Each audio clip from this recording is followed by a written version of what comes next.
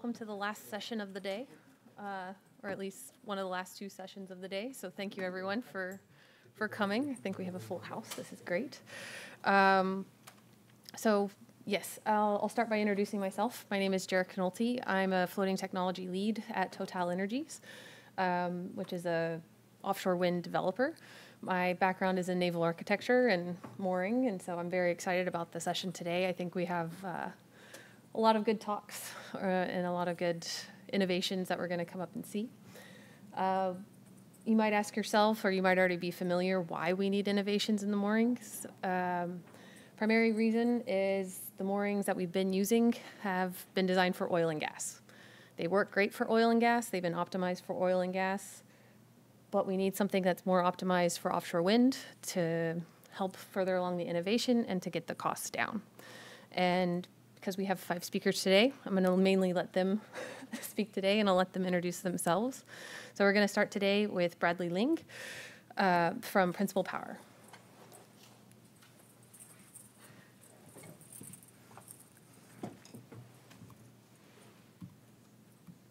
Thank you. I'm Bradley Ling. I'm on the technology team at Principle Power. Um, generally, I have more of a focus on global performance, but serving as the PI for the Shallow Float project.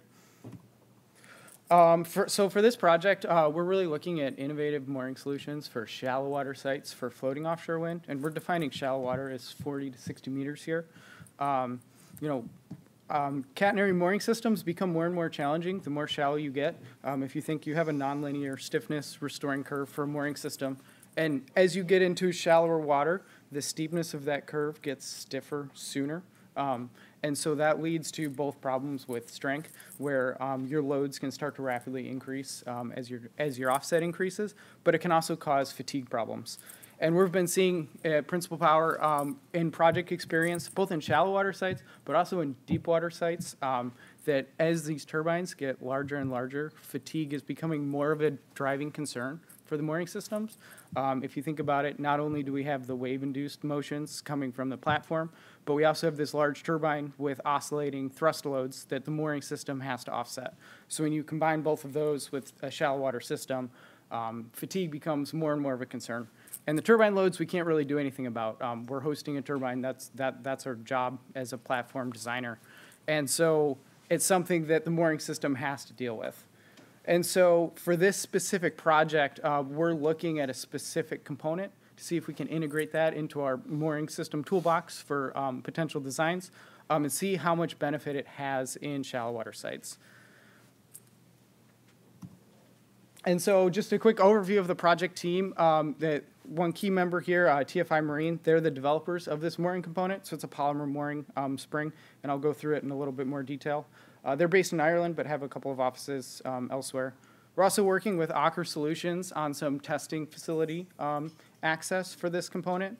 Um, we're also working with NREL. I'm working with uh, Matt, actually, who will be talking later, and his colleague Erica um, doing some open source work, so integrating um, the ability to model these components in OpenFAST and also do an open source design um, to illustrate some of the benefits on the IEA 15 um, in the UMaine semi-submersible platform.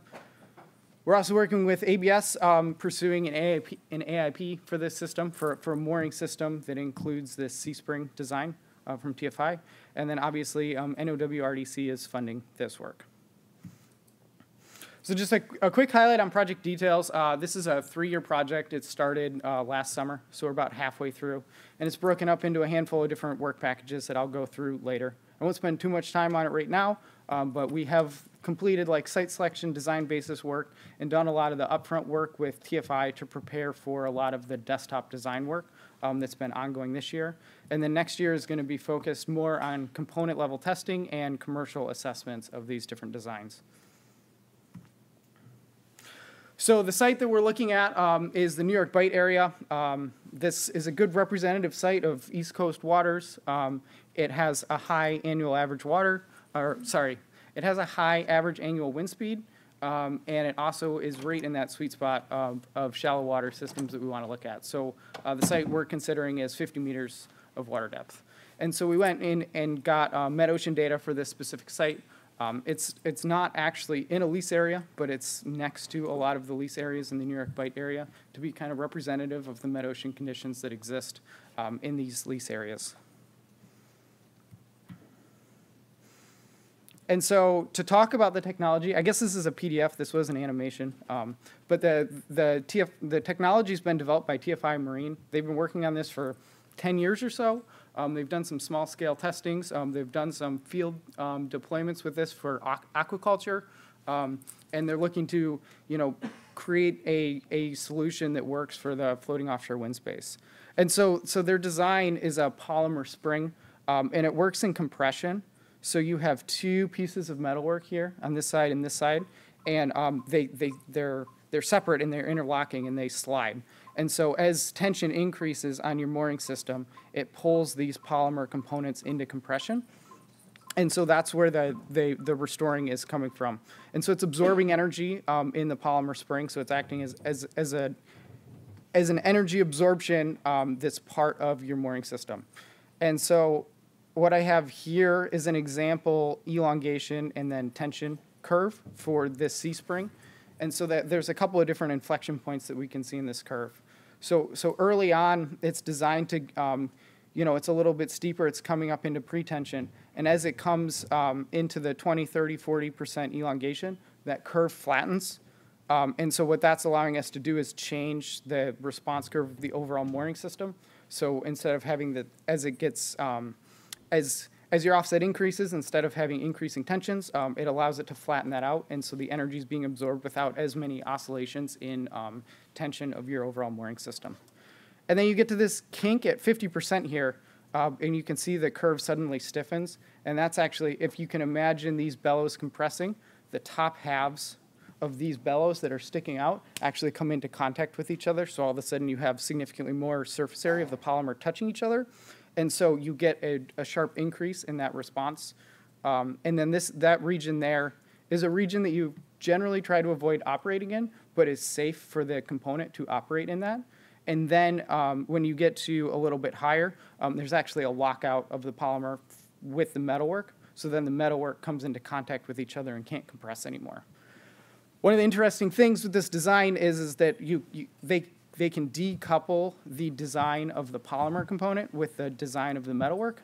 So their approach is to design the MBL of the metalwork to be higher than the MBL of the um, polymer component.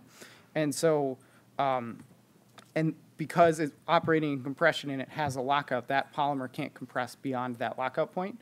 Um, so that helps ensure that the polymer um, is, stays in its safe operating range. There's a couple of different design variables available for this component. Um, there's different load ratings, and then you can add more springs to your mooring line. So, so um, for the different load ratings, essentially they change the diameter of these polymers um, here, and so you can shift this curve upwards or downwards depending on how you want to use it. And you could use, say, two per mooring line, or four per mooring line, or three per mooring line. Um, there's a bit of a design optimization process that goes into designing a mooring system with this component. And so the, the first step, once we kind of learned more about this component and, and from TFI, um, the first step is working with NREL is to just develop the ability to model this in um, OpenFast. Um, Orcaflex, which is, is what Principle Power typically uses for our global performance and mooring analysis, had the capability, so we wanted to pull that into OpenFast to make it available to, to the community. And so um, the modeling approach for early stage design for this is essentially to just have an interpolated um, tension and offset value for that. And so um, that was that was implemented um, into MoorDyn, and I have some validation results here, just comparing a couple of test cases with one of those TFI components in a mooring system, comparing MoorDyn results, which is the the mooring solver part of OpenFast, to um, Orcaflex results, including that spring.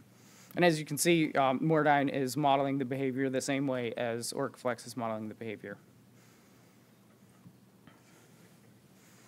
Um, the second half of the work that NREL did is there is an open source mooring design. So taking the IEA 15 megawatt turbine and the UMaine semi-submersible um, platform designed for that IEA 15 megawatt turbine and putting it at the site that we're considering.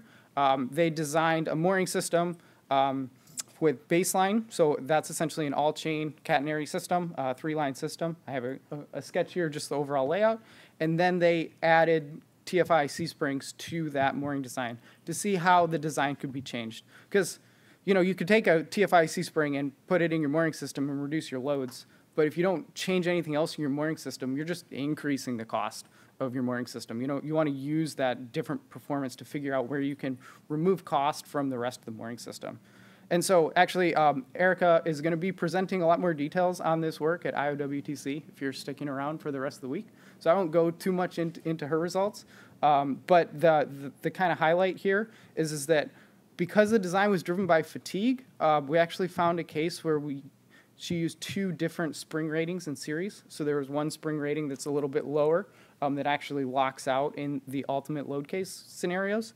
Um, but that gives more compliance in that lower range of tensions um, where a lot of the fatigue damage was coming, and then a higher um, load rating spring um, to help mitigate those extreme loads.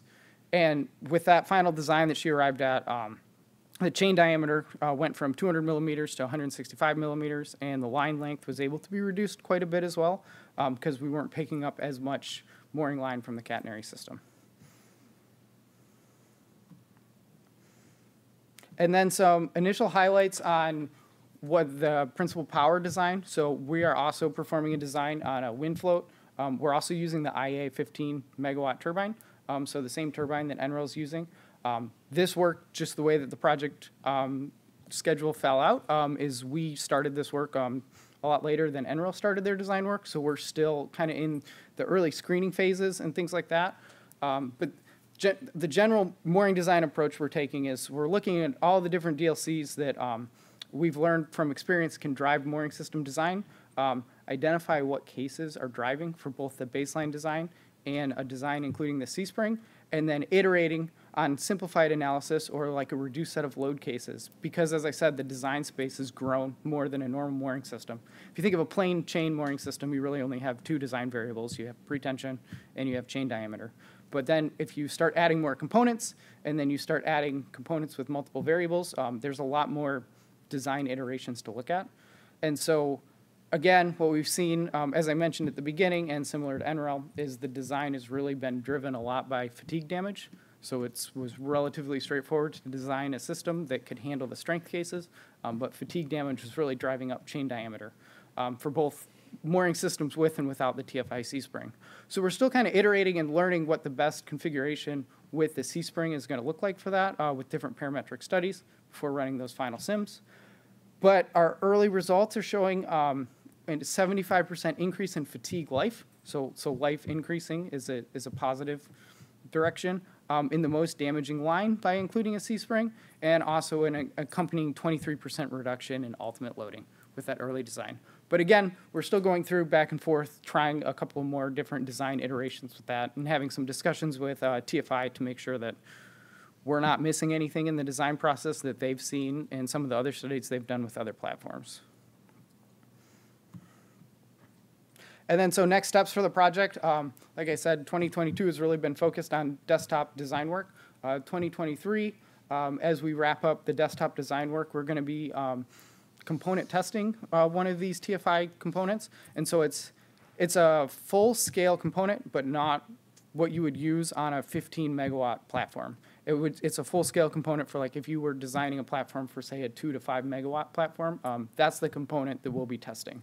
And so we've begun initial conversations with TFI and Aker Solutions about um, planning for that test. There's a, a variety of different tests that um, we're looking at to look at um, things like creep and to validate that um, the curve, the, the response curve from that. And um, TFI has also started manufacturing those components. Um, they're, they're actually using those components for a couple of different um, things coming up. So, that, so they've already begun manufacturing both the metalwork and the polymer components for that. Um, and they'll also be doing some initial review of the manufacturing with DNV as part of a separate effort, not the shallow float project. Um, and then, as I said, we'll also be completing the PPI mooring design. And then as testing completes, we'll be looking at doing a LCOE assessment for both the open source design, working with NREL, as well as an LCOE assessment on the proprietary mooring design. So not just how much cost can we get out of the mooring system, but how does that result in overall LCOE of the, of the system for these shallow water systems. And then um, the other bullet point not written here, um, but we'll be working with ABS to pursue that AIP of the mooring system design that includes this TFI C-spring. And that's what I have. I look forward to your questions at the end of the session.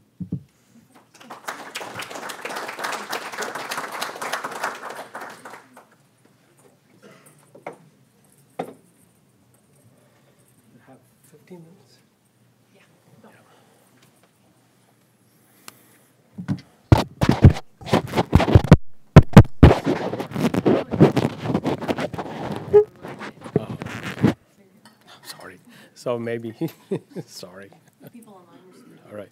Okay, got it. Sorry about that. All right. um,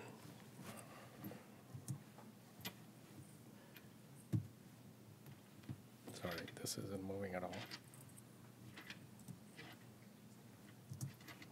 No. Ain't moving.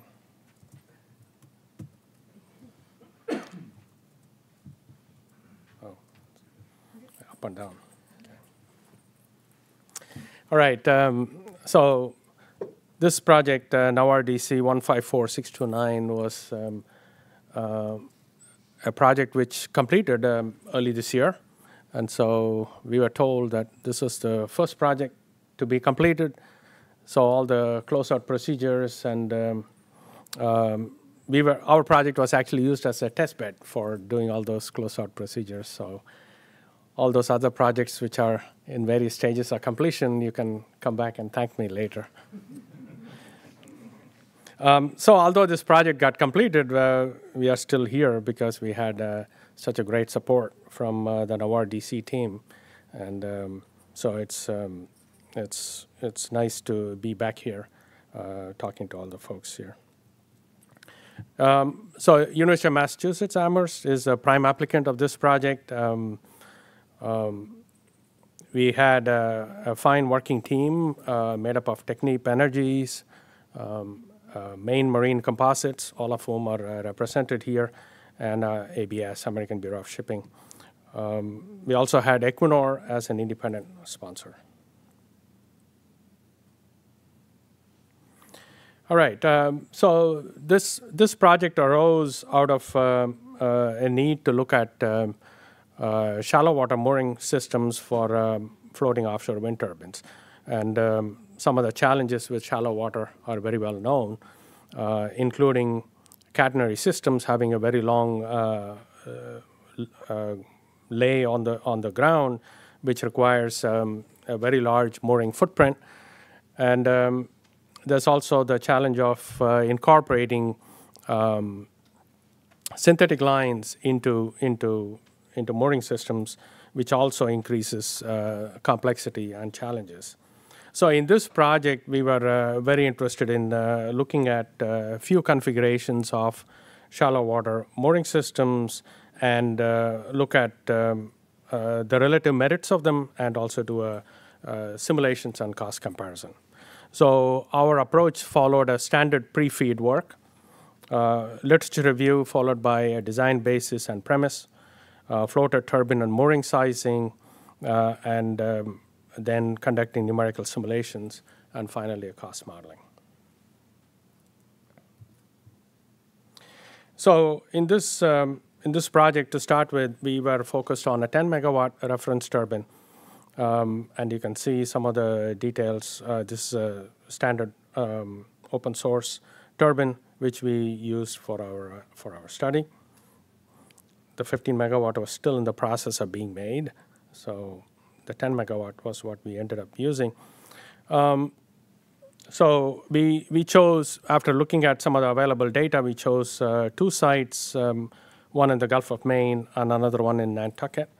Uh, we had uh, data from a couple of buoys, one from, from the UMaine uh, buoy and another one a NOAA buoy in these two locations. Uh, we chose these locations because of the, the water depth which is uh, ranging from 60 to 100 meters in, this, uh, in these two sites. And we had sufficient amount of wave and wind, um, wind uh, data.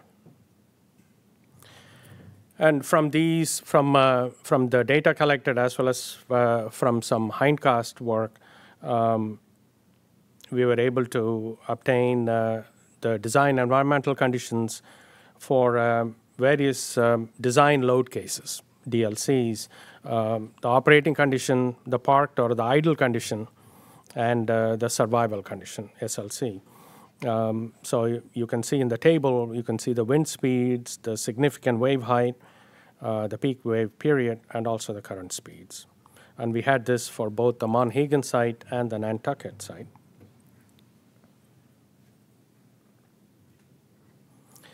So the semi-submersible platform design came out of um, the OC4 standard semi-submersible design. And uh, so this was uh, scaled upwards. The OC4 semi was a 5 megawatt system. This was scaled upward.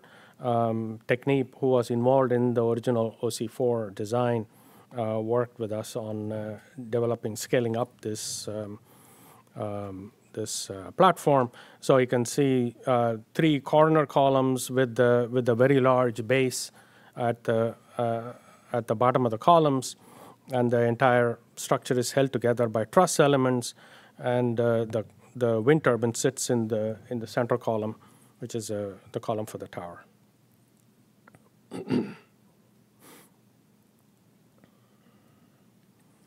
So the mooring configuration for this, we, we, we worked with a number of mooring configurations.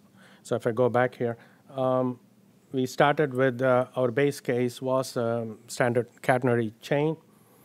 Um, and then uh, we also looked at synthetic elements, both uh, polyester and nylon. And uh, we also looked at three, three lines per column, and then reducing that to two and one because we were also interested in looking at redundancy in the in the system um, and uh, the cost implications of that. So I'll show you one uh, mooring configuration, which is the one we did the most work on, which is a platform uh, chain and a heavy chain combination uh, in the upper end, uh, followed by a polyester line and then an anchor chain at the bottom end. So this is very similar to the chain wire chain or a chain rope chain arrangement, except you have an extra heavy chain at the top end to create a slight um, catenary or a more compliant shape on the on the on the line.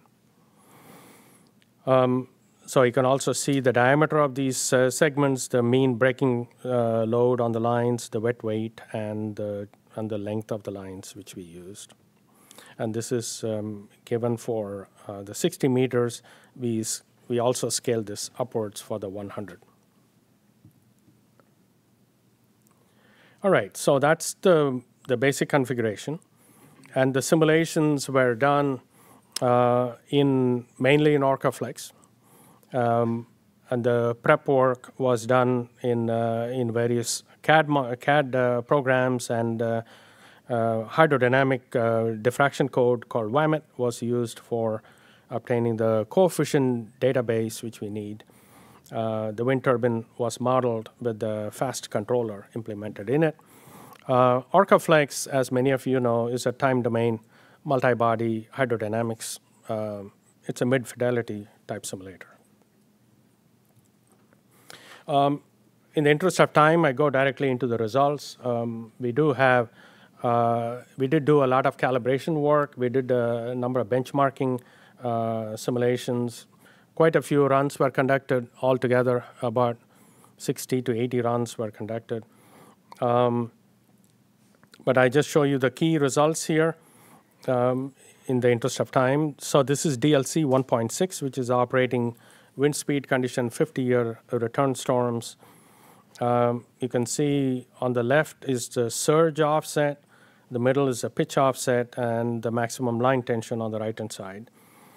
Um, and each of the bar chart um, has two lines. One is for an Nacelle yaw of zero, and the other one is when the wind changes direction and the and the turbine has to be uh, rotated 180 degrees. So it's it's facing um, uh, the opposite direction to how the waves are coming. Um, so that's that's an SLE of 180, and you can also see under each of those uh, pairs of lines there is either three lines, 60 meters. So there are uh, terminology which says the number of lines and the water depth as well. Um, so we didn't see many surprises in the surge and the pitch offsets. Um, and in the line tension, we, we, as one would expect, uh, the one line condition, uh, that is one line per corner, one line per column, one line condition has the highest amount of tension with uh, both the 60 and the 100 meters about kind of very similar in terms of numbers.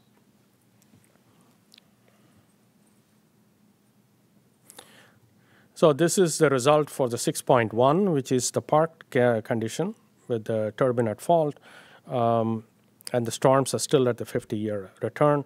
And again, this is comparatively uh, mild um, uh, in relation to the previous one in terms of surge offset and the pitch offset.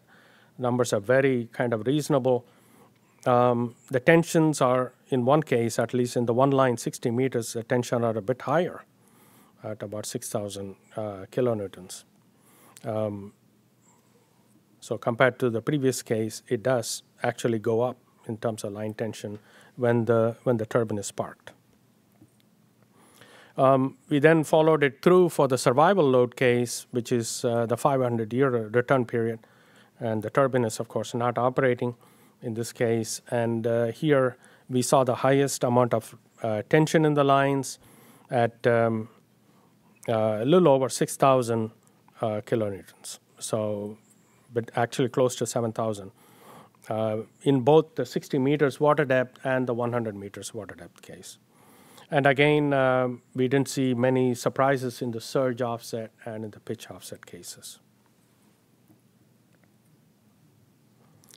Um, so these are the strength strength um, uh, related simulations where uh, summer in uh, in summary, looking at the factors of safety. Uh, in most cases, we have very reasonable, very good factors of safety, uh, and the worst condition is, of course, when um, when you looked at when we looked at the one line case, the factors of safety for the mooring systems are actually hovering around two, little over two. In fact, here you can see there is a case of where the mooring uh, factors of safety are around 2.3, 2.4. That's the, the most, most onerous case. So that's on the, on the basis of strength. And then we wanted to look at um, fatigue uh, because of the scope of the project and uh, the fact that it was only a feasibility study. Uh, the the fatigue analysis was was uh, very simplified. We didn't we didn't use a scatter diagram uh, in in our um, uh, analysis. We basically assumed an exposure duration and uh, gave a gave kind of an offset for uh, uh, downtime due to weather and maintenance, and we also included the survival condition in there, um, and we looked at the number of hours and the rate of percentage and then worked worked the fatigue from that from that end using built-in Orcaflex uh, fatigue analysis methods. Uh, so the, the fatigue actually showed something interesting in that um, if you look at the picture on the left, which is 100 meters water depth, the picture on the right is 60 meters water depth. Um, the, the line colors, the blue line on the left is two lines per pontoon, the red is actually one line per pontoon. And um, uh, what we see uh, is in the left side, if the damage limit is, uh, is at 10% of the total, then we actually see that the one line configuration fails um, in, in, our analysis. And the failure actually is, is in the chain components rather than the synthetic line components. So that was very interesting. The same sort of similar sort of results are also observed in the case of um, uh, the, the 60 meters water depth, where um, you can see the, the one line case, which is the, the brown orangish line. Again, you see the chains um, failing when you, when you look at the extreme damage limit. The two line case also we see some of the chain failure occurring. So um, beyond this, we also looked at, uh, based on um, available data, we also did a cost comparison of these various systems, and they are all uh, summarized in our reports, which should be available through the through the websites, NYSERDA website. Um, so from from from our study, we we concluded that um, the shallow water mooring systems with synthetic lines are feasible, um, and uh, with the one line case is is doable. There is there are concerns about the fatigue of these systems, and the concern is more on the chains rather than on the on the synthetic lines. So the entire line has to be evaluated in a, in a much more serious way to look at uh, fatigue fatigue related damages. The minimum factor of safety, on the other hand, from a strength standpoint, is is still um, acceptable from uh, any of the class class standards, class requirements. Um, so this was intended to just be a feasibility study over a short 18 month time frame.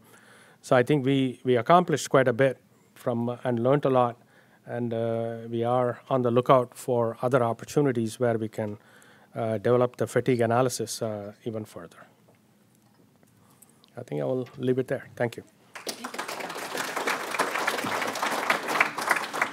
Am I okay on time? You did great.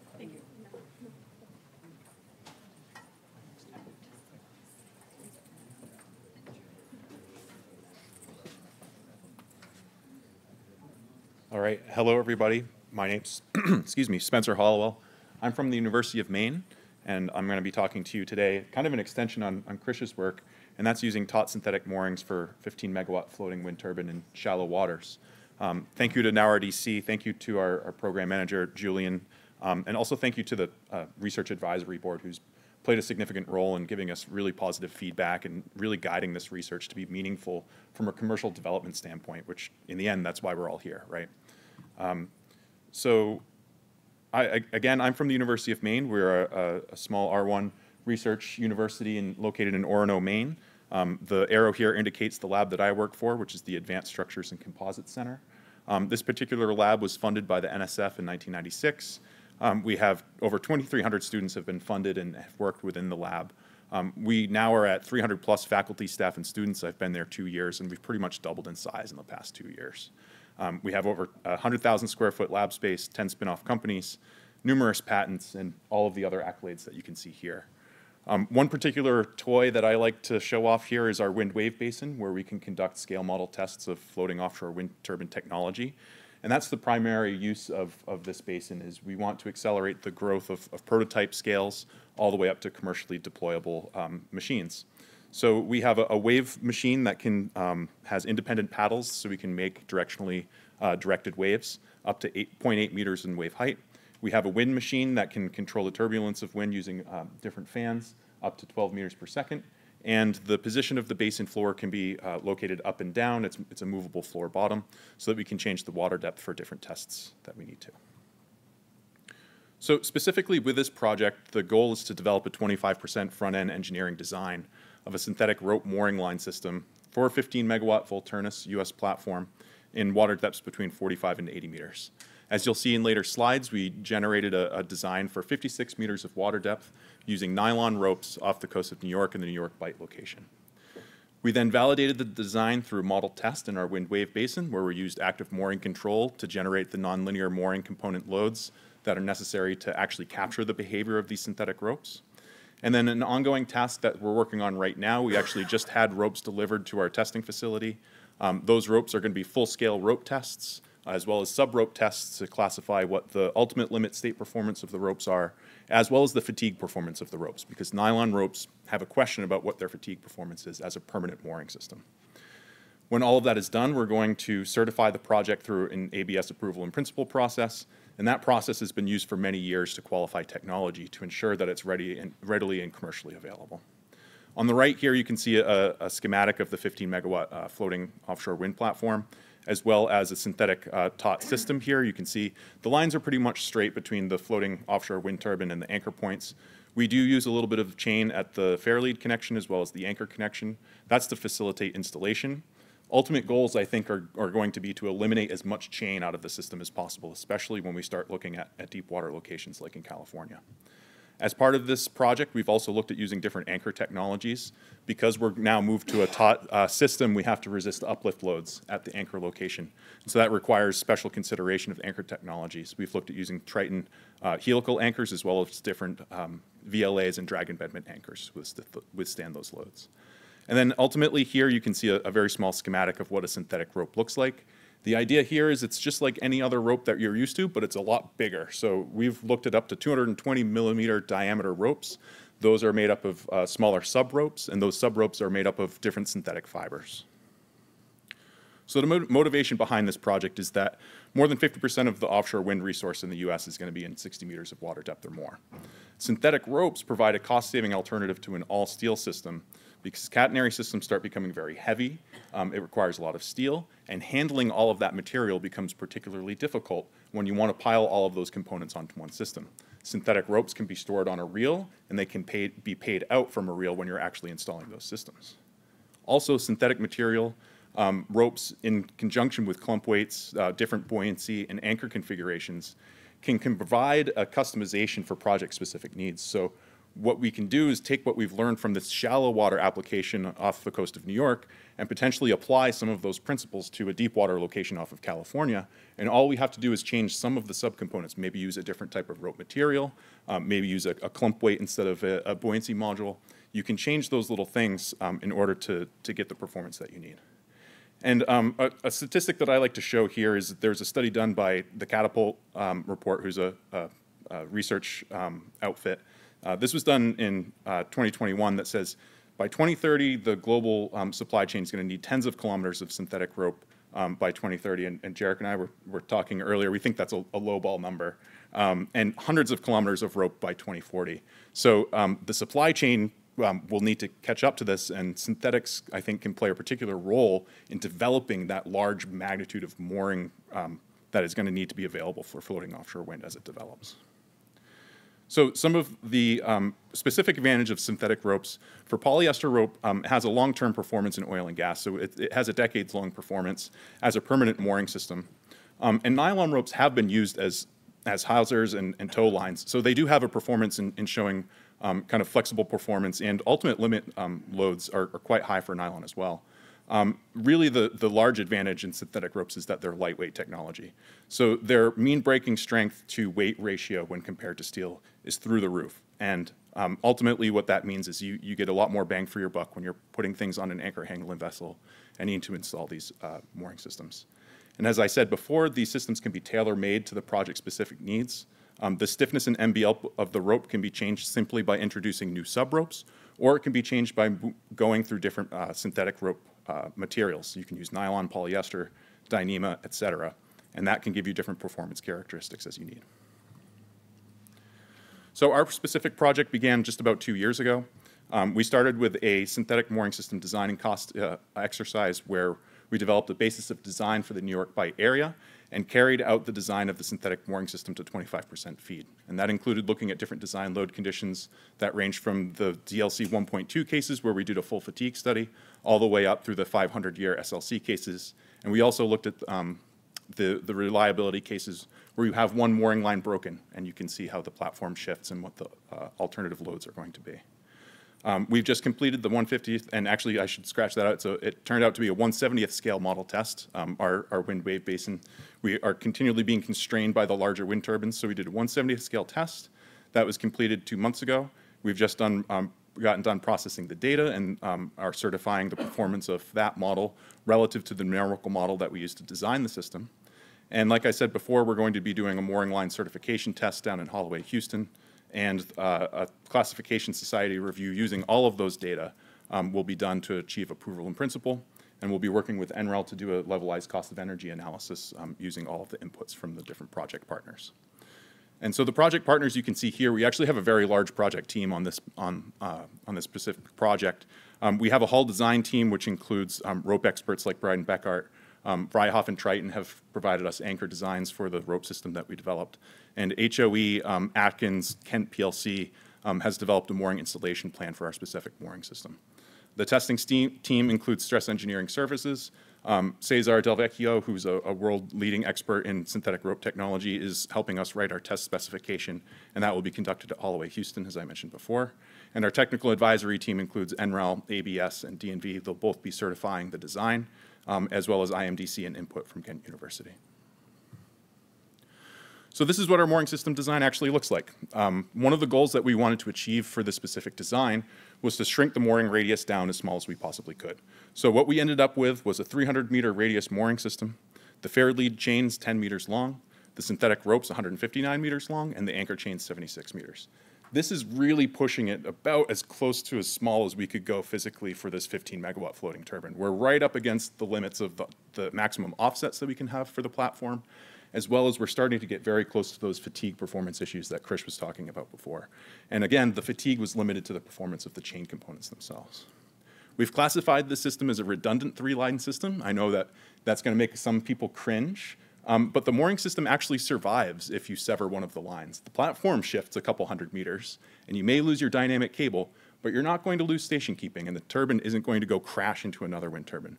So ABS has said for a conceptual design that makes sense, but we really have to do a lot of detailed engineering on that cable connection to make sure that we're not going to disrupt the grid at the farm level.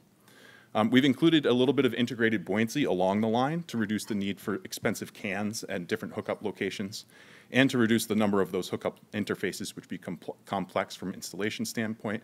And as I said before, simple installation method allows for a cheap um, hookup procedure, O&M, and repair if something were to go wrong.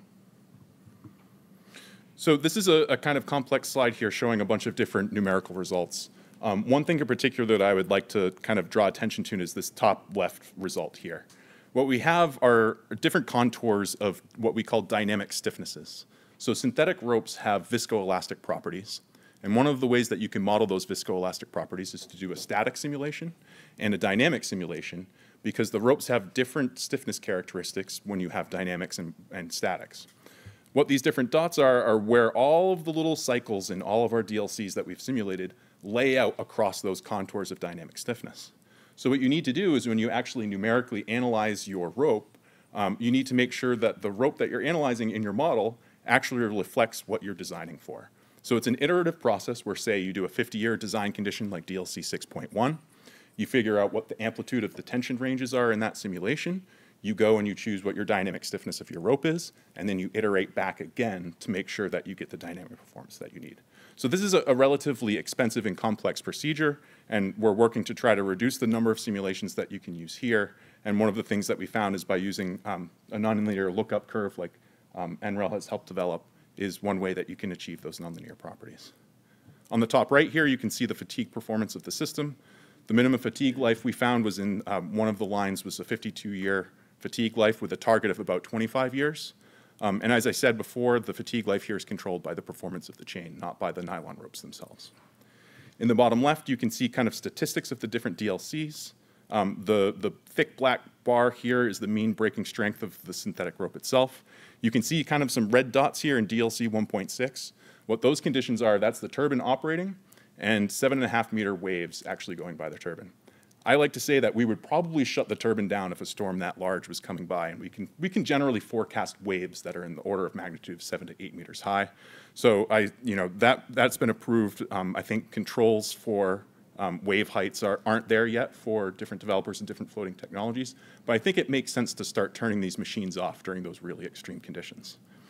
And then at the bottom right, you can see the different mean tensions and um, the max tensions here from a dynamic standpoint for the anchor designs.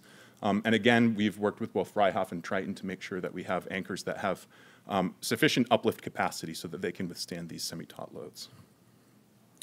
So this was supposed to be a, a video, and uh, as everyone said, uh, we have a PDF here, so we can't really see it. But this is a schematic of what our basin test looked like. So we, uh, we opted to use a drag disc to get at, at least the mean uh, wind loads appropriate here. And we have a scale, 170th scale model of the 15 megawatt hull. And as I mentioned at the beginning of the talk, we have an active mooring system here, at least for the lead line. And that's controlled by an actuator.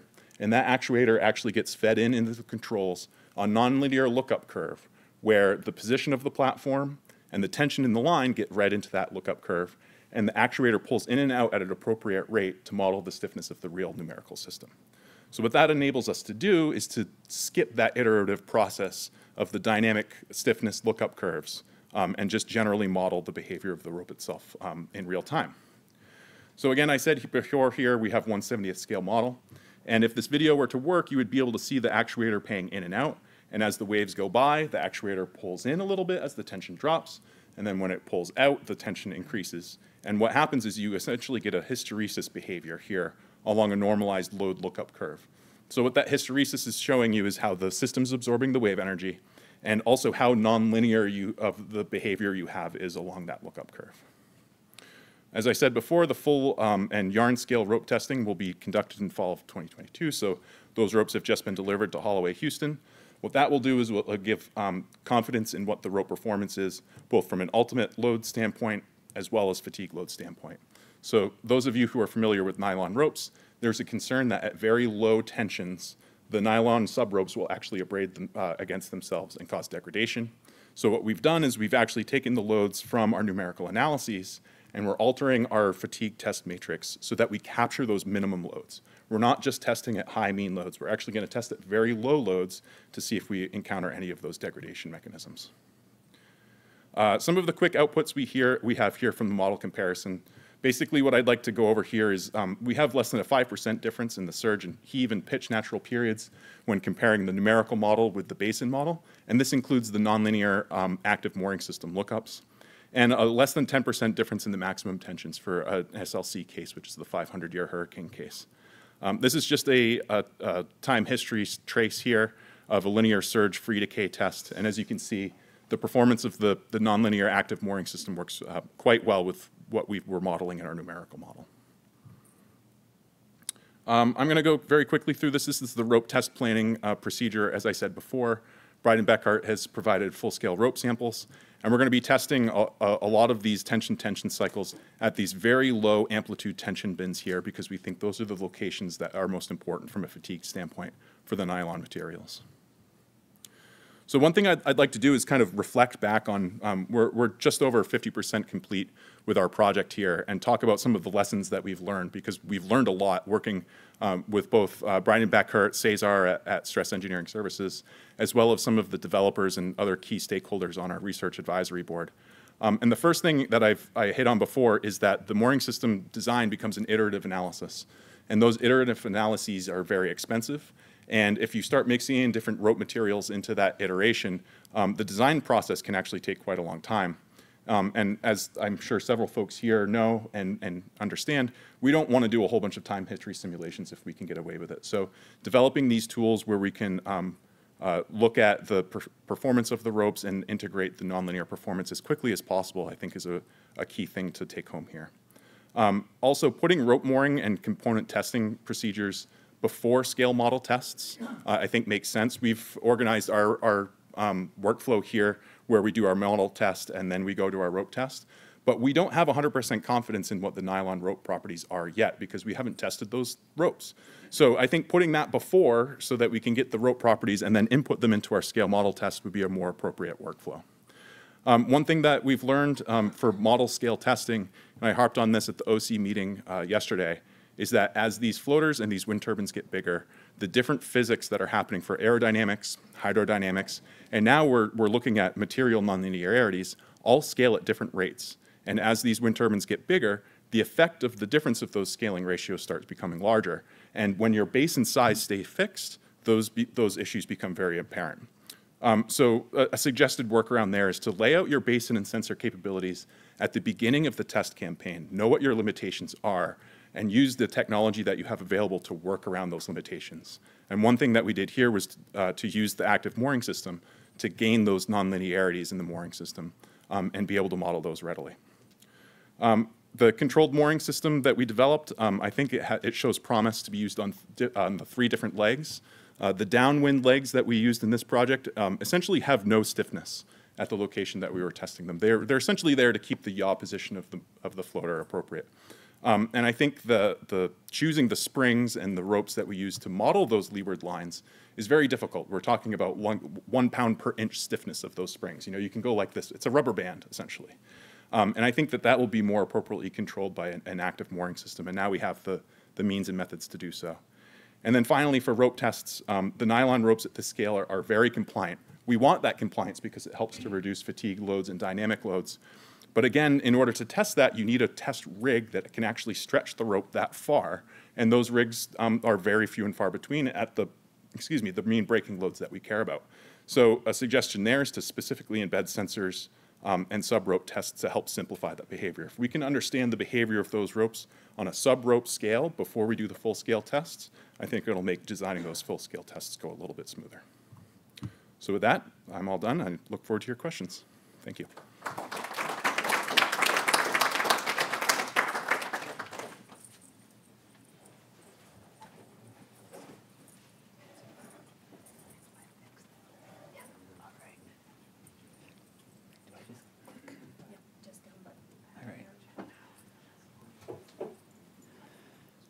All right, hi everyone. Um, I'm Matt Hall from NREL. Um, I helped lead our, our previous NOWRDC project um, on shared mooring systems, which wrapped up about a year ago. Um, Krish, I think at that time we were told that, like you, our project was the first to wrap up, so we'll have to uh, compare notes and see who should thank who on that. But I'm not sure.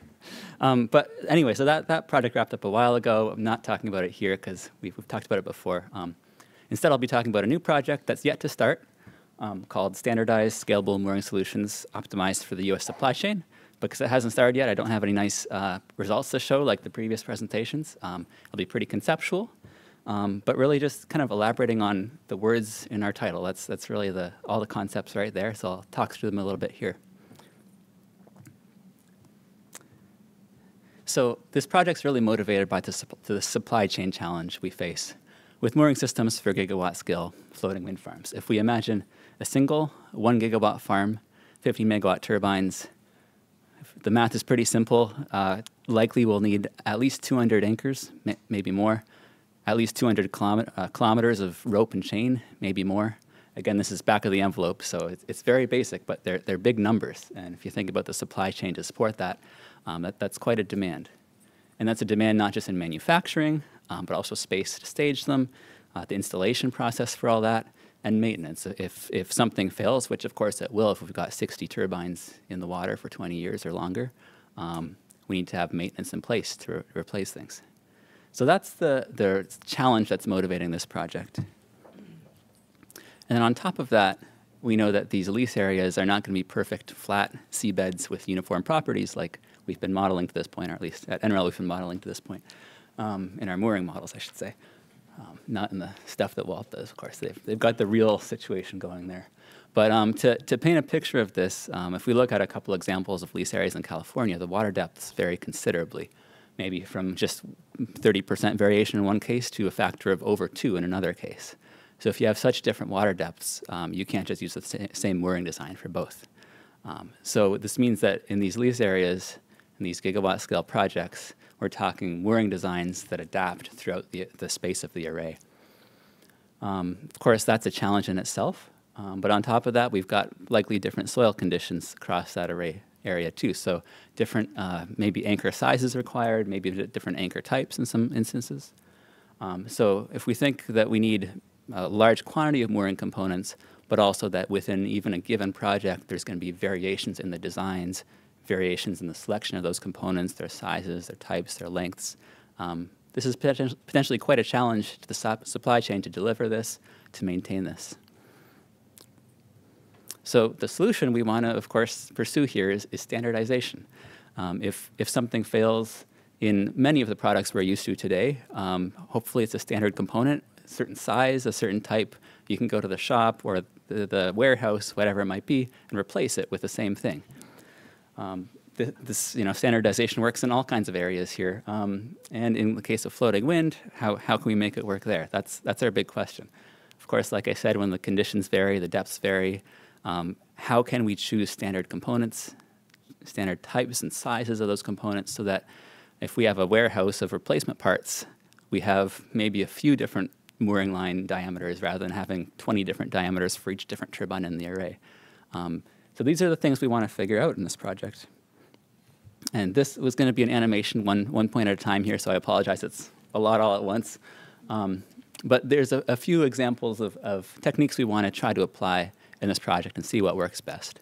So the top one there is standardizing the mooring line material types and sizes. So I think this is maybe the most, most direct one. Can we go down to just one chain diameter or two chain diameters, same with rope diameters, in a whole array, even if the depths vary considerably within that array? Um, similarly with anchors, uh, can we go with one anchor type? Can we go with one anchor size or just a few anchor sizes so that again, if we need to replace something, we've got the parts on hand and we don't have to inventory a, a large amount of replacement parts. Um, some, some more out there concepts would be sharing mooring lines and sharing anchors. So if we share anchors, nice feature there is we're reducing the anchor count, but also we're reducing the number of connections with the seabed. And of course, that varying seabed properties and seabed depth is our biggest source of variation in the design. So if we minimize our connection points with the seabed, it gives us more room to standardize. Same with shared mooring lines. if we're not even touching the seabed with some of our turbines or with some of our mooring lines at least, that means they might have the same lengths across the array. So these are uh, kind of the, the palette of options we want to look at for standardi- sta- standardizing. Some very mainstream, some a little more innovative, and we'll, we'll basically see in this project what, what, project, uh, what techniques work, work best. And secondly, not just what works best for standardizing amid these variations, but what works best for the local supply chain. Because ultimately, it really comes down to what you can produce um, and install. That's really what's going to drive this. So we want to make sure it's optimized for the supply chain capabilities, not just standardized in a kind of hypothetical uh, vacuum. So in terms of our methods and, and what we're really trying to innovate on here, the, the main concept is to combine our mooring design tools, which include some of these more innovative ideas, with our supply chain analysis capabilities. So N- NREL has another project looking at supply chain for offshore wind. We have ongoing work in this area as well, the kind of the techno-economic modeling.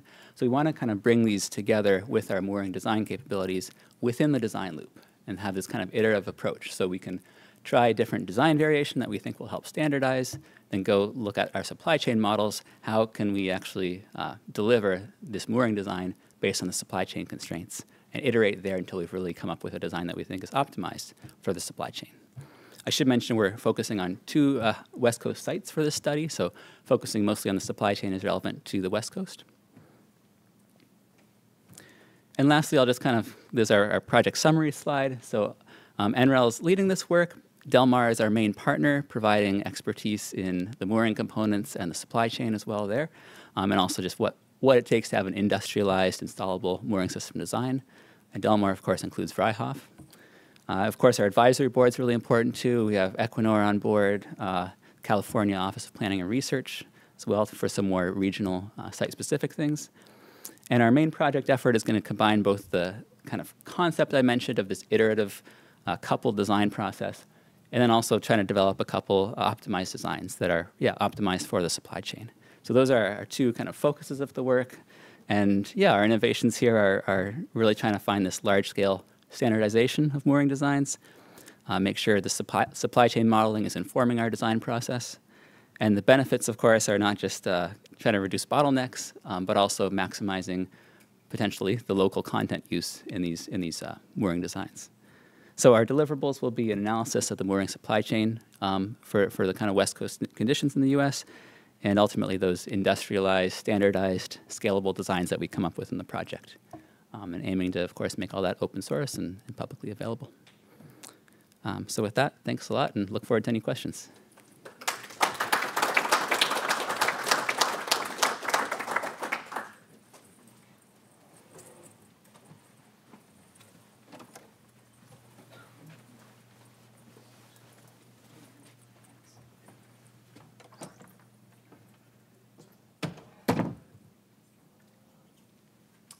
Right, my, my name is Bill Fong. I work uh, for GE Global Research Center uh, in upstate New York.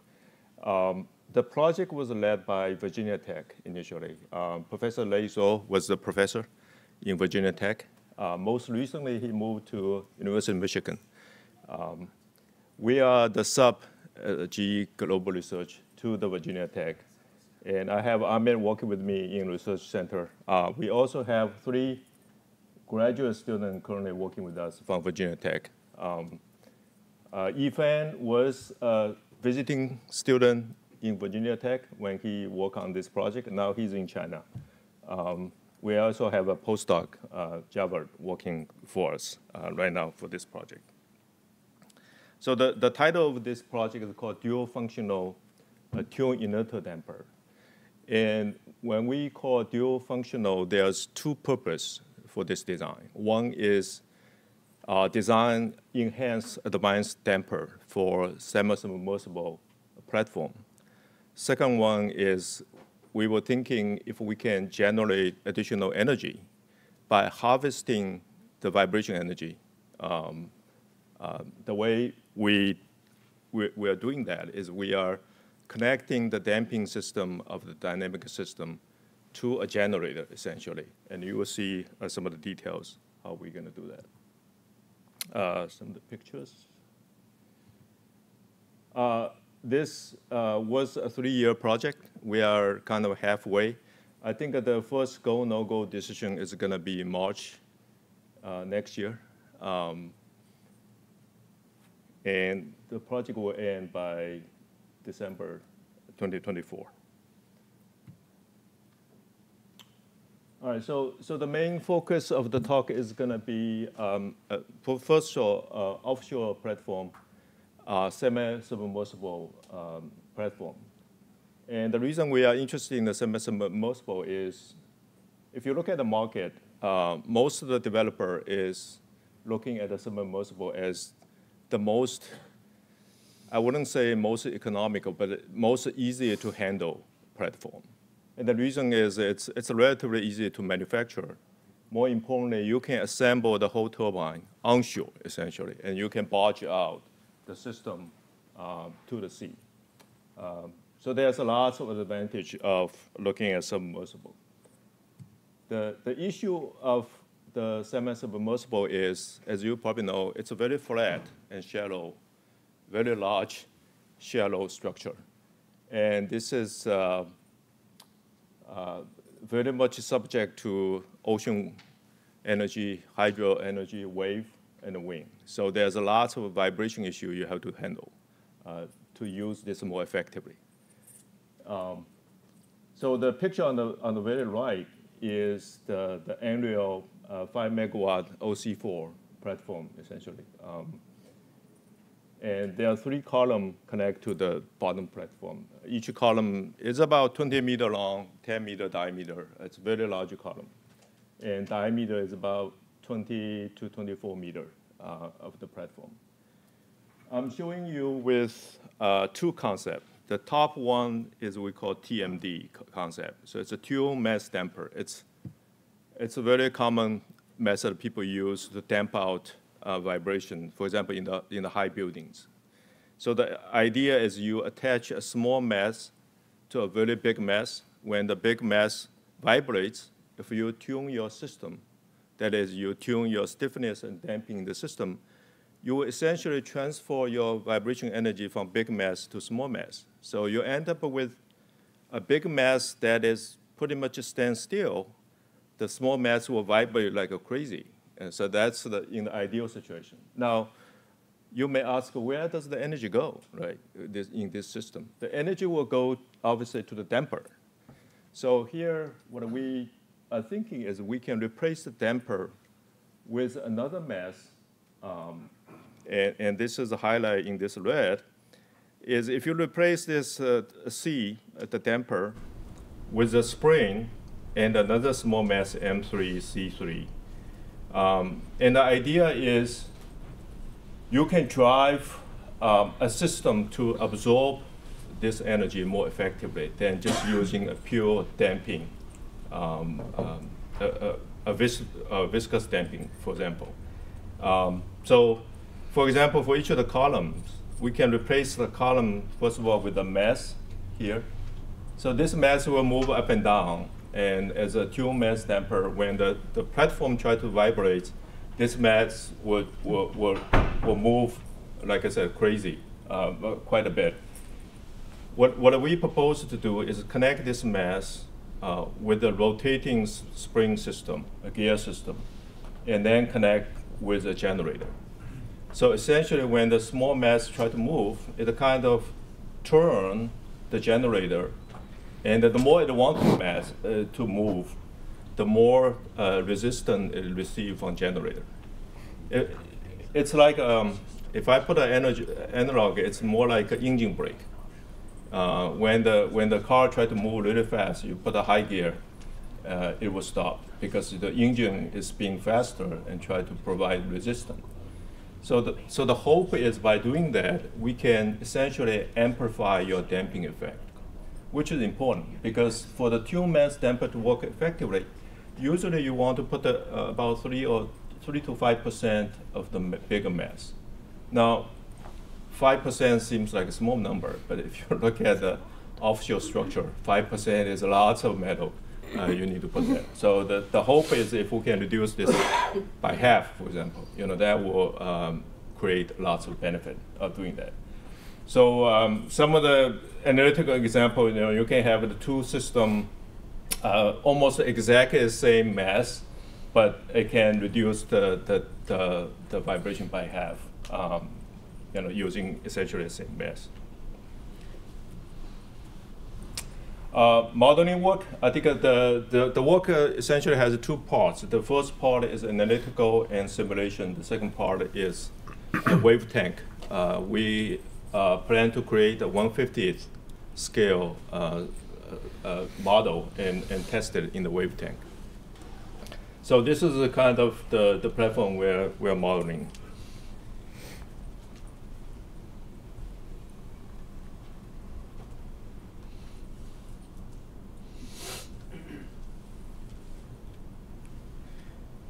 Uh, yeah, so this, uh,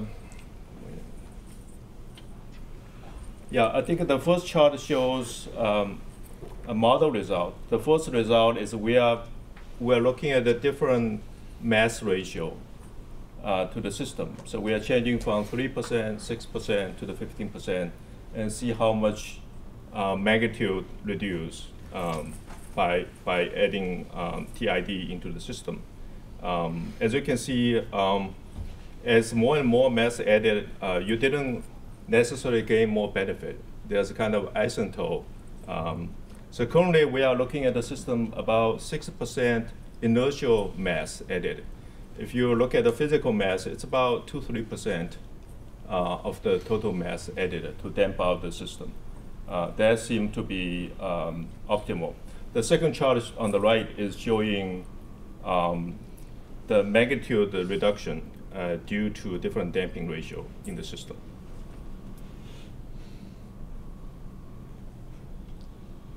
Uh, we model the system with um, a, a, 12 degree freedom system. So that, that this includes uh, the platform, the turbine, um, and it has the wing force uh, simulated. Also, there's a hydrodynamic force, hydrostatic force, mooring force. Um, um, yeah, that's that's the that's the main uh, main force. We are also study different wing wave um, combined attack to the system. So there will be angle beta between the wave and the wing coming to the system. Uh, the right picture shows the difference between so-called uncontrolled, so that you don't put any damper in the system, versus the pure TMD. There's just a little damper with a viscous damper, uh, a little mass with a viscous damper. And then uh, they call TIMD is the tune inertial damper combined with the tune uh, uh, dual mass damper. Um, and you will see the difference uh, of, of three different uh, systems. In general, uh, the study we did, uh, we conclude the, TID compared to TMD has about 15 to 70% of benefit um, with essentially the same mass um, to the system. And um, you know, the, the 6% mass ratio of the TID is almost equivalent to 9, 9% mass ratio TMD. So you're getting about 50% efficiency uh, in damping out the system. Uh, we look at the three different cases. Um, uh, the first two cases we look at it was with a different wing speed, uh, 6 meter, 12 meter, and this is the one the example. We we assume the wave height is three meter. We also look at the second system that is no wind speed. Essentially, the turbine is parked or feathered. Uh, the, the, the blade is pitched to feather position, and uh, the wave is a six meter per minute. So it's more like a storm case. You, you park your turbine. Uh, so we look at a couple different cases and try to find the optimal solution or parameter for each of the TMD. With the different uh, lowercase.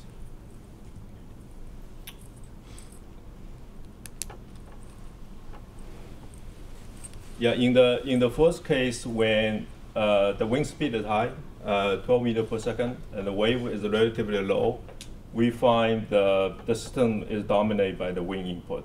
Uh, so, what that means, if you change the wave to wind angle, you don't see much difference, um, and that's simply because uh, wing energy dominate the system. Uh, all right.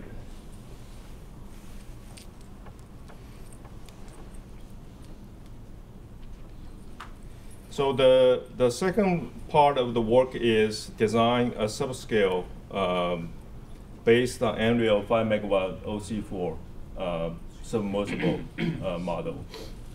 Uh, there's four columns as shown in the in some of the previous presentations. Uh, the, the tower is sitting in the middle column and the, the, the dual mass damper system is sitting on the three big columns.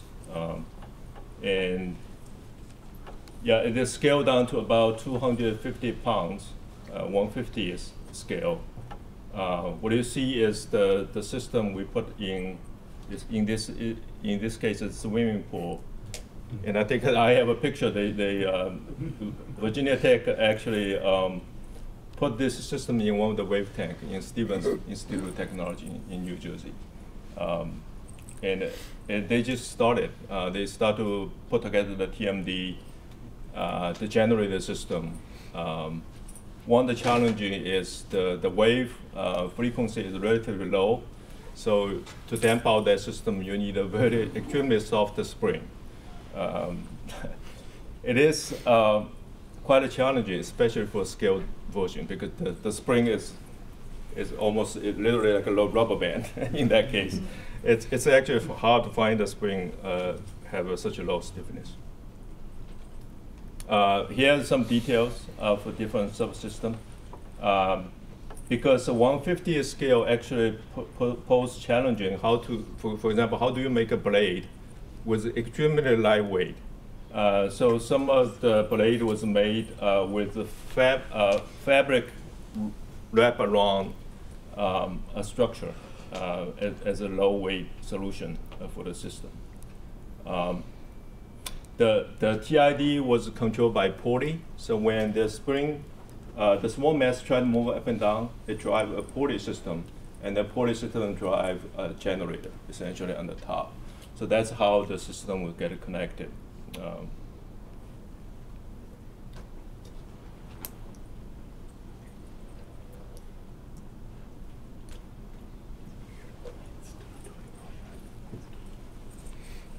some of the details, how we um, made the TID system. Um, I think with the interest of time, I will just skip over. Um, so, so the, the pulley system I talk about and the, the soft spring you see on the picture on the, on the right. Um, one, the, one of the challenges is uh, uh, in, in the subsys- uh, subsystem, the, the spring is so soft, the mass kind of tilted, shifted as it vibrates. So it creates friction um, on, on, on the column wall itself. So you have to be pretty careful when you assemble the whole system.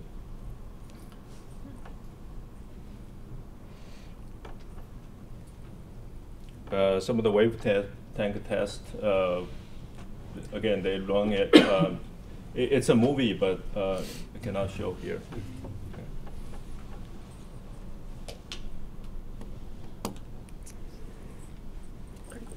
All right, that's all I have. That's it. Thank Thank you. you.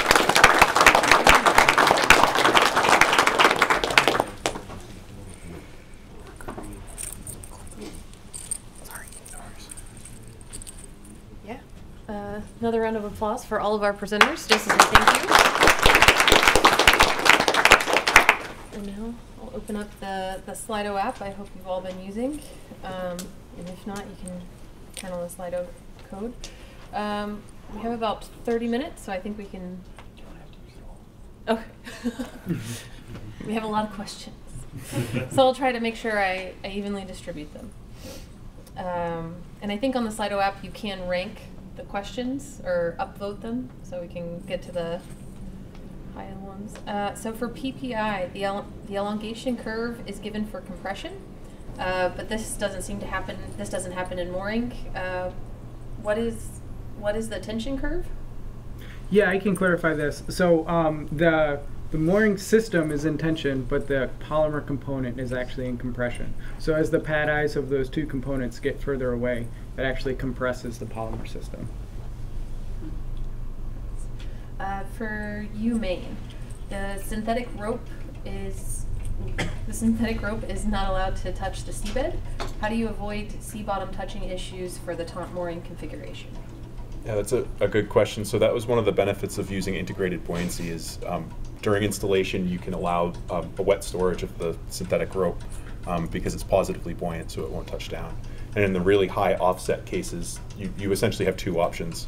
Um, with a typical synthetic rope without buoyancy, um, you design the pretension such that it doesn't drop to a point where the synthetic rope touches the ground. Um, or you can add buoyancy and that essentially just inherently prevents it. Thank you. Um, from Matt at NREL, uh, which mooring, which mooring or anchor standardization methods are looking most promising so far? We haven't started yet, so I will take the safe approach and not answer that question. Okay. Uh, okay, then a question for all of you, actually.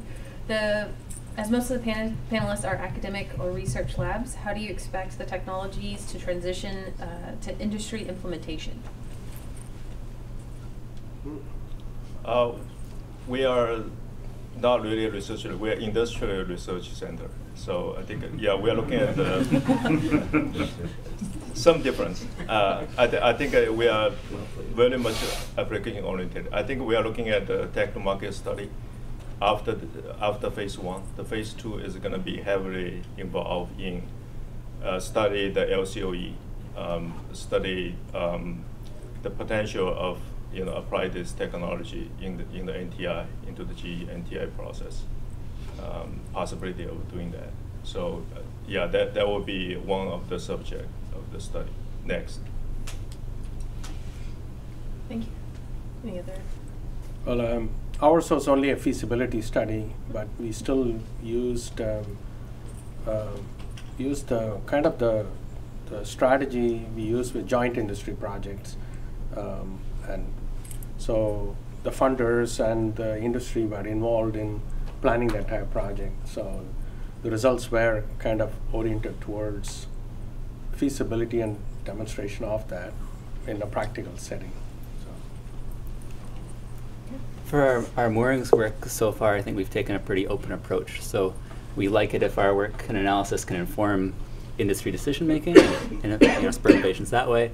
When we have industry partners on our projects, also you know they have a more greater opportunity to go forward with that technology. And of course, when we're helping industry partners like Principle Power, um, certainly that's a way our, our work can just go towards whatever they're pursuing.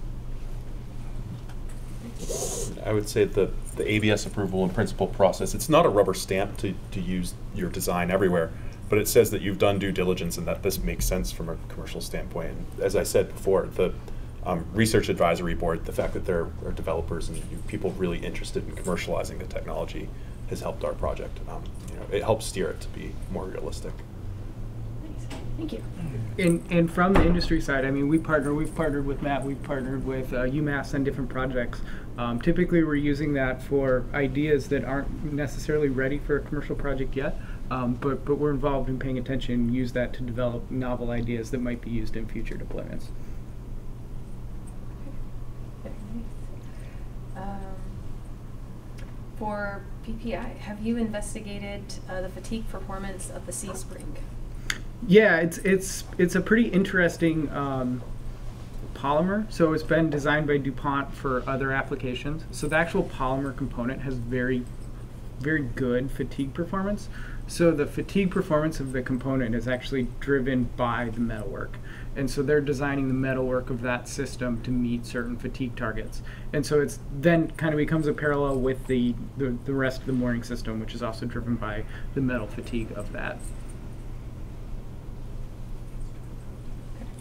Uh, and then another question for you, Maine. Uh, the mooring system has material nonlinearity and geometric nonlinearity.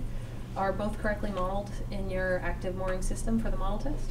Yeah, so that's part of the iterative process that we go through is, you know, we make a, a numerical model of the full system and we can input the material nonlinearities as a lookup table within MoorDyn.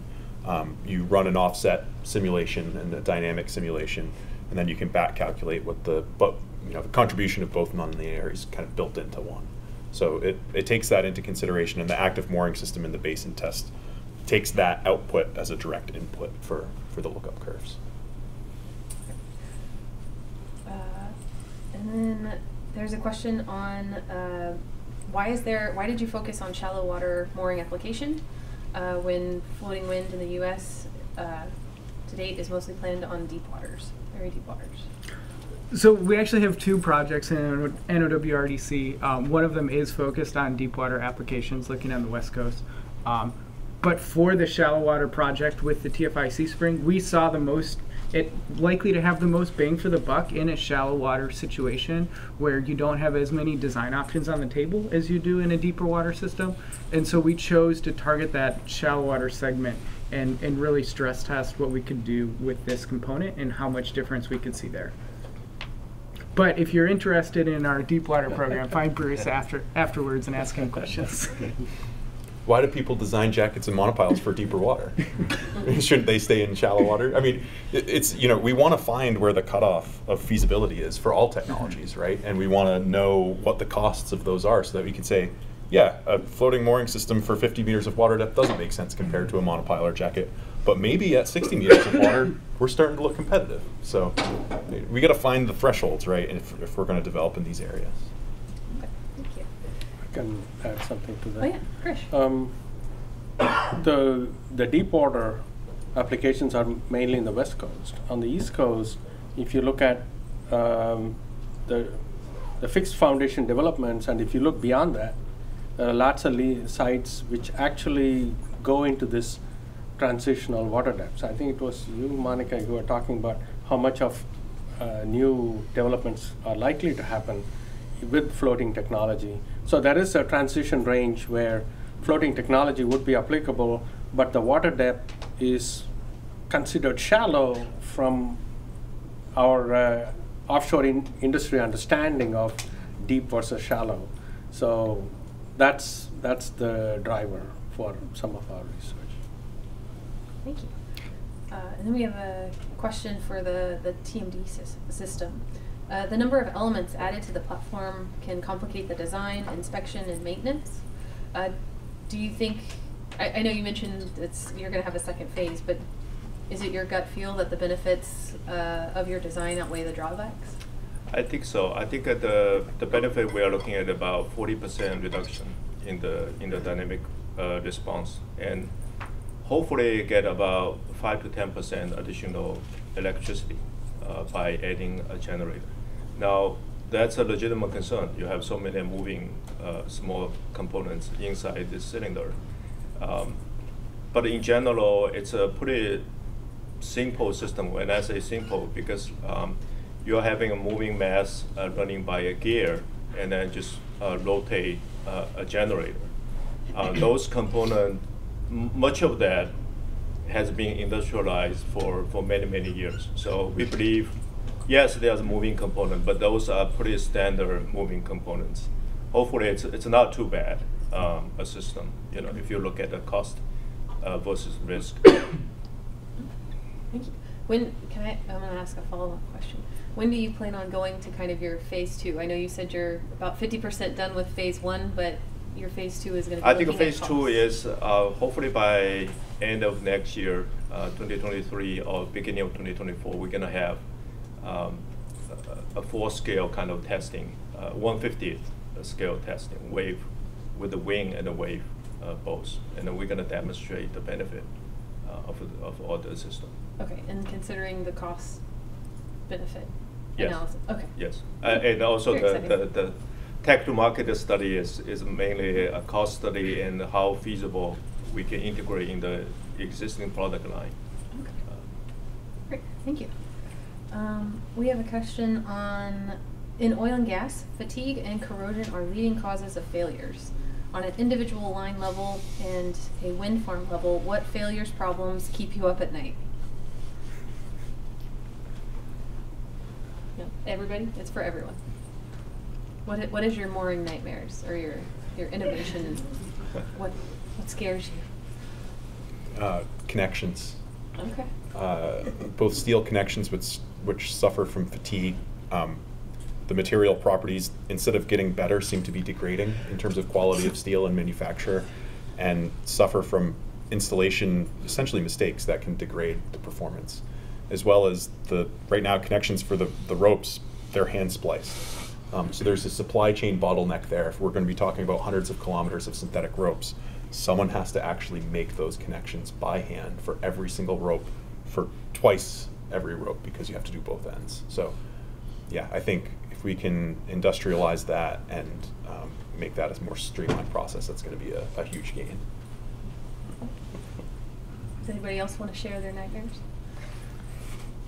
Um, it's, it's, I won't call it a nightmare. It's an interesting challenge. Um, looking at uh, viscoelastic behavior of these synthetic lines, I think it was various talks I mentioned that, and uh, it's basically now modeled as lookup tables and uh, curve fits and whatnot. But our own research has shown viscoelastic behavior also causes time delays and that could mess up the overall response of the platform and how the interplay between the mooring line and the platform is. So that's an interesting challenge I would like to tackle. I'll just add that uh, we're very interested in some upcoming work to try to analyze that question better. What are the biggest nightmares at an array level? I, I think for us, uh, we, we choose the semi versus the TOP. Uh, we look at the TLP in the beginning, and then, then we think the semi is easier in terms of mooring design, you know, compared to TOP. You hope you made the right decision? Yeah. Well, I I mean, TOP, you know, you're talking about ten times yeah. tension compared to. Uh, Um, I have a- another question for everyone. Uh, What technology would benefit your research to be researched in parallel with you? Or, you know, if you could dream a research to, to be done in parallel to help you advance, what would it be? Large offset dynamic cables.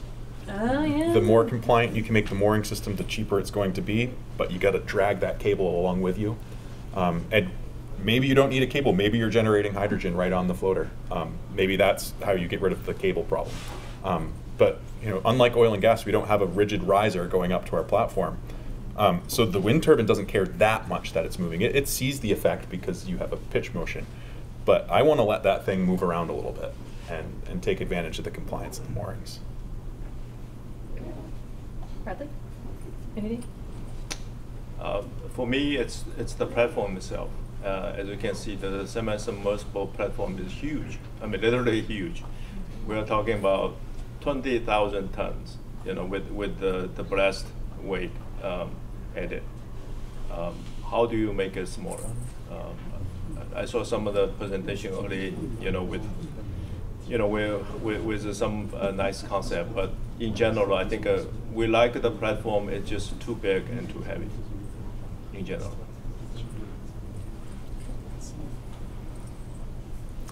thought Spencer's answer was fantastic. The dynamic cables, that's, Yeah. I think that's right on.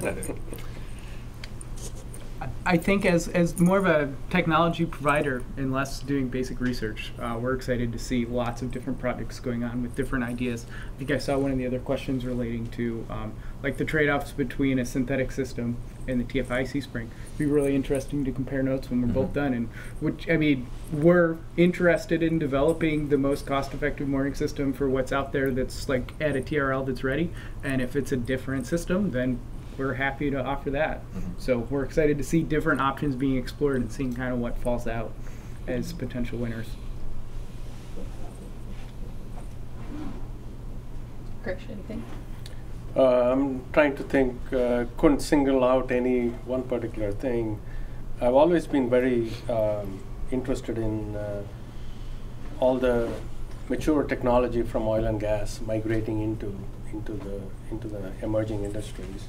So I would like to see more of kind of qualifying many of those technologies, which is already well developed uh, in the oil and gas industry, to be kind of streamlined and, and available for the renewable energy. That's what I would think would be very helpful. Thank you. Um, so we have one for Spencer and Krish. Uh, can you offer commentary on the surge stiffness of the platform for a conventional catenary chain mooring system and your novel systems?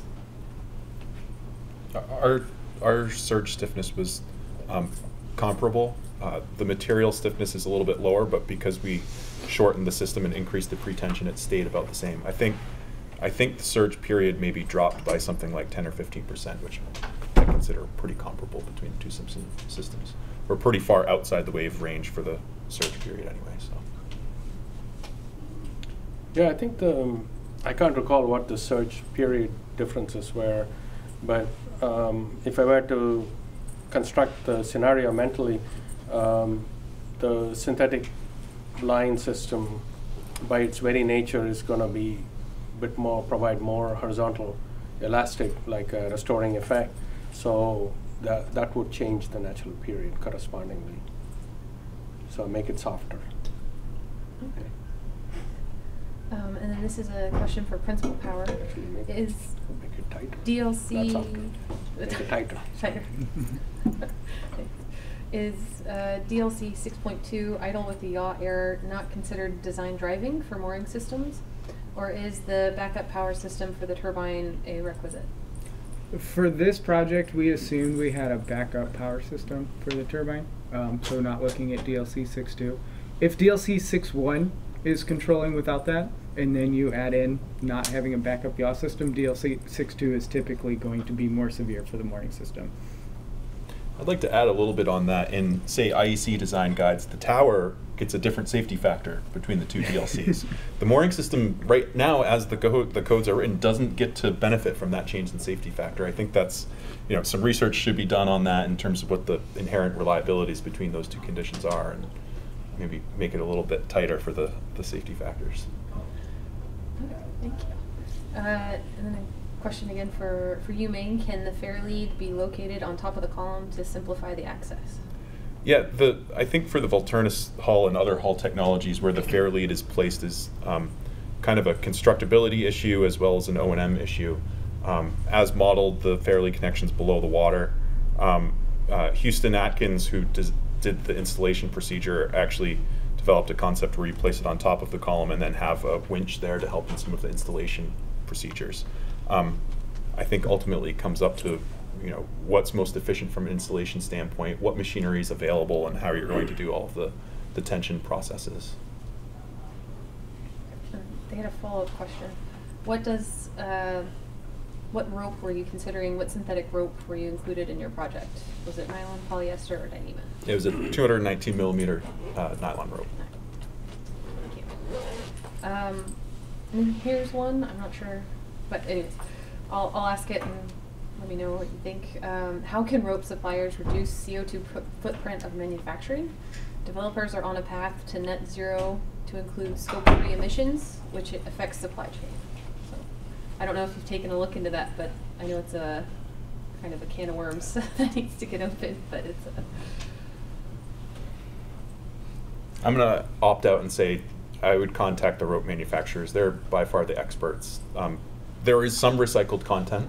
I don't know how much energy it takes per kilogram of rope, but I'm I would imagine it's on par, if not less than kilogram of steel for chain. Um, yeah, reach out to the rope manufacturers. They they're looking into this, um, especially in the European market where these requirements are popping up. Uh, and then one new question has come up. What are, what are the typical offset limits you consider for dynamic power cables? We use 30% of the water depth, so just over 20 meters for our project. Yeah, I think that's a pretty common assumption, 30% of water depth. We've used less in deep water, smaller ratio, but I guess it- it's kind of, you know, you take a look at your water depth and you ask people to give you a good guess, at least at this point. I- I can't recall, uh, Banjun, do you recall how much uh, offset we did? Ten, uh, you put your head down, uh, so that's why. Was it, uh, did we assume ten percent, fifteen? Yeah, it started with fifteen, but you know, Yeah, the. we allowed it to go a I bit I mean, more. they allowed go to thirty-five percent because Yeah. if you increase the length and then save more in, you know, design, that, you know, it's more economic than, Yeah. you know, you, you can increase, you know, Right. one dynamic cable length, right? With a lady shape, and then reduce number of mooring system or number of line, right? Right. And you, you will save installation, right? Everything, so. Yeah, so around 30, 35% max is what we looked at. Okay, Cool. I think, I think I got everything in Slido, so thank you for all your answers and your time and presentations.